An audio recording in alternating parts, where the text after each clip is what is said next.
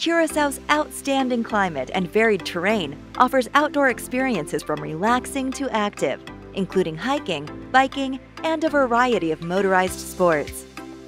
Day trips to the countryside are ideal. Be sure to go west, where you'll feel for yourself how different it is. Visitors can kick off the day with an exhilarating hike up Mount Christoffel, the highest peak on the island. There's a lot to take in rolling green hills, rocky landscapes, inland bays. A dramatic next stop is Shete Boka National Park to experience waves booming off seaside cave walls. A short drive down picture perfect country roads leads to quiet salt ponds.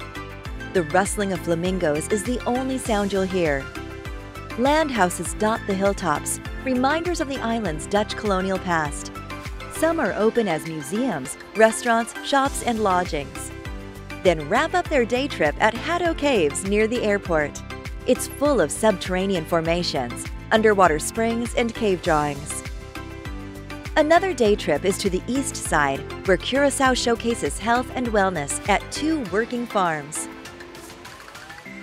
Meander through Dinah Veeris Den Paradera Herb Garden and learn how to use medicinal herbs or perhaps love potions developed by Dinah.